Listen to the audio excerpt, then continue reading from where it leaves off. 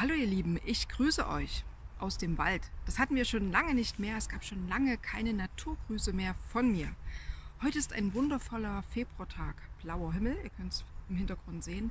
Sonne, relativ milde Temperaturen für den Februar und ich habe einfach diesen Tag genutzt für einen langen Wald- und Naturspaziergang. Das ist einfach wunderbar. Und ich weiß nicht, wie es euch geht. Ich habe die letzten Wochen und Monate doch als sehr drückend und dunkel empfunden, was das Wetter anging. Es war wirklich wenig Sonne da, immer viele dunkle Wolken, dass ich manchmal schon das Gefühl hatte, mittags um 12 um 1 das Licht anschalten zu müssen. Hinterlasst mir gerne Kommentare unter diesem Video, ob ihr das auch so empfunden habt. Ich habe da auch kürzlich bei der Susanne Lorey auf ihrem Telegram-Kanal so einen Chat verfolgt.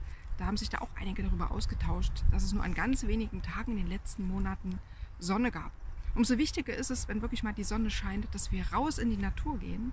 Gerade wenn man in einer Großstadt oder in einer Stadt wohnt, ist es so wichtig für die Entspannung, für die Entschleunigung und auch für die Erdung. Ja, auch wenn wir jetzt, wenn es noch zu kalt ist, ist vielleicht für viele nicht angenehm, mit bloßen Füßen über den Waldboden zu laufen, aber man kann zumindest Bäume umarmen oder sich auch mit dem Rücken mal an einen Baum lehnen und einfach mal so in sich gehen und den Baum spüren, die Natur spüren, das Sein in der Natur spüren, das empfinde ich immer als sehr heilsam.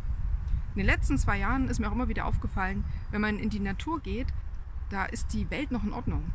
Und diesen Irrsinn der letzten zwei Jahre, den hat man wirklich nur in der Stadt, in Geschäften, in öffentlichen Verkehrsmitteln.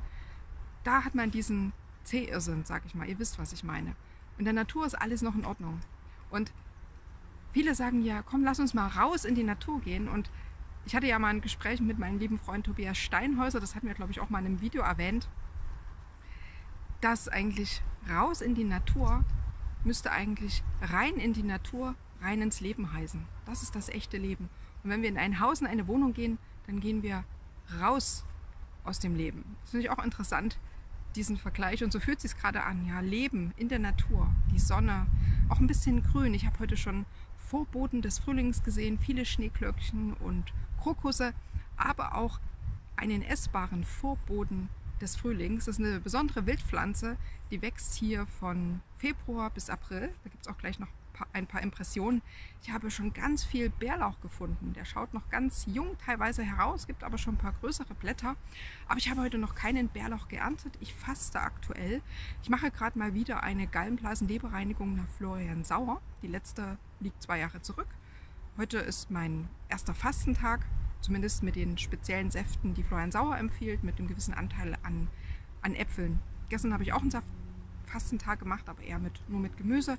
Heute ist ein großer Teil an Äpfeln dabei, spezielle Säfte und deswegen ernte ich heute mal keinen Bärlauch, erst dann wieder nach meiner Gallenblasen-Leberreinigung.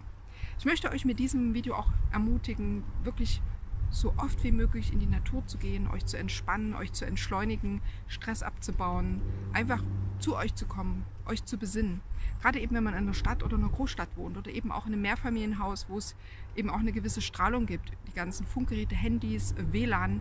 Wir schalten nachts zum Beispiel unser WLAN-Gerät aus, aber das macht nicht jeder so. Also trotzdem, wenn man gerade empfindlich ist auf diese Strahlung, dann ist es immer gut, so oft wie möglich in der Natur zu sein. Und das versuche ich auch so gut wie möglich umzusetzen. Neben den regelmäßigen Aufenthalten in der Natur finde ich es in diesen Zeiten besonders wichtig, ganzheitlich auf sich zu achten. Körper, Geist und Seele.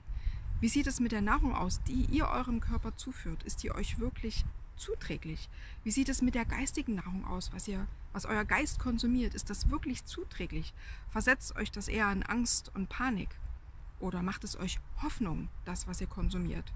Oder gibt euch eine Zuversicht, ein gewisses Vertrauen, ein unerschütterliches Vertrauen?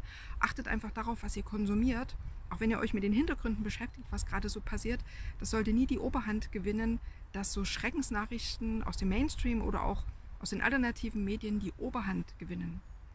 Beschäftigt euch wirklich auch mit positiven Dingen, die euch eben euch wieder in die Kraft bringen, die euch nicht aus der Balance bringen.